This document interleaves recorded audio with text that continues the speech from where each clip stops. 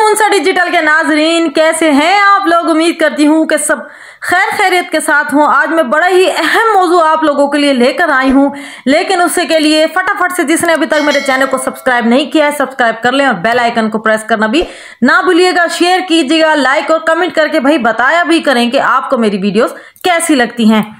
तो सबसे पहला मौजू तो यह है कि लोग सियाह फाम, यानी कि काली रंगत वाले क्यों होते हैं? और ये कब से बने?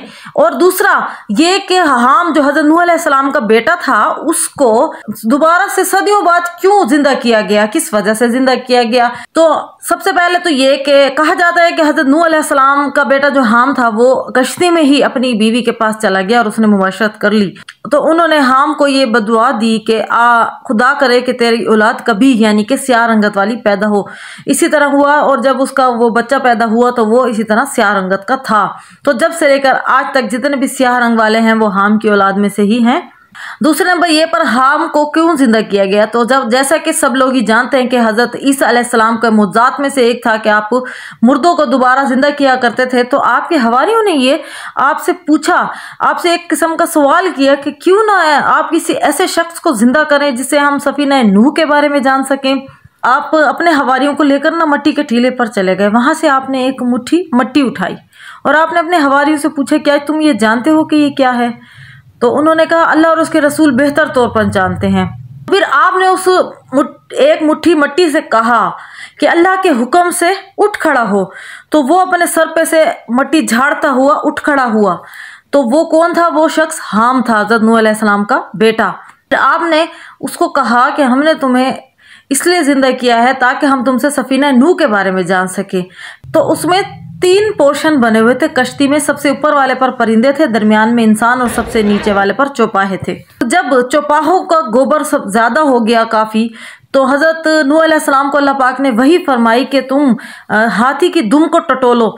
तो फिर जब आप, हज़रत नू सलाम ने हाथी की दुम को टटोला तो उसमें से एक सूअर और सूरनी पैदा हो गई, जो कि गोबर पर टूट पड़े और उन्होंने सारा गोबर जो है सफ़ा चट कर दिया। फिर चूहों ने जब कश्ती में सुराख करने शुरू किए तो फिर लोग परेशान होने लगे। तो अल्लाह ताला ने फिर हज़रत सलाम को हुक्म फरमाया कि शेर के दोनों आँखों के दरमियान एक ज़रब लगाओ। जब शेर को ज़रब लगाई तो उसके नाक के नथनों से एक बिल्ला और एक बिल्ली पैदा हुए, जो कि चूहों पर पिल पड़े और उन्होंने सारे चूहों को खा गए। फिर उसके बाद उन्होंने हज़रत ईसा ने सवाल किया कि हज़रत नू सलाम को ये कैसे मालूम हुआ कि तमाम जो है वो काफ़ी मर चुके हैं? तो आपने कहा कि हम ने बताया कि हज़रत नू सलाम ने एक कवर रखा हुआ था जो कि सबकी खबरें लाता था।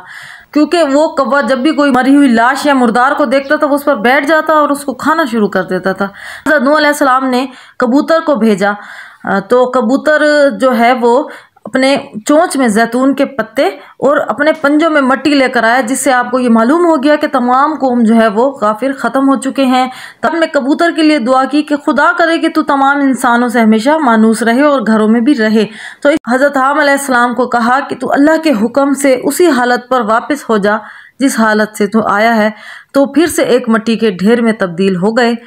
और इस तरह से हज़रत हम को हज़रत ईसा ने दोबारा से ज़िंदा किया था। इसी तरह की मुफीद मालूम जानने के लिए हमारे साथ बने रहिए और अपना भरपूर ख्याल रखिएगा। अल्लाह हाफिज़।